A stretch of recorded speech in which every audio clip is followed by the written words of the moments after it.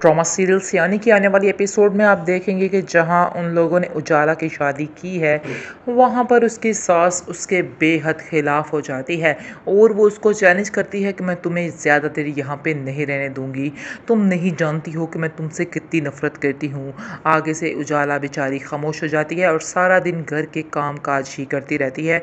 और इसके बाद आप देखेंगे कि किरण जो है, वो बहुत ज़्यादा प्रेशर डाल रही है वकास पर कि वो जहेब से अभी भी कॉन्टेक्ट में है, उससे बातचीत करती है। इसकी वजह से वकास को मज़ीद गुस्सा आता है और वो कहता है, यानी कि लड़ाई झगड़ा करता है, उजाला से बहुत ज़्यादा और कहता है कि तुम उससे क्यों फ़ोन पर बात करती हो? आगे से वो कहती है कि मैं, मेरा उससे कोई कॉन्टैक्ट नहीं है।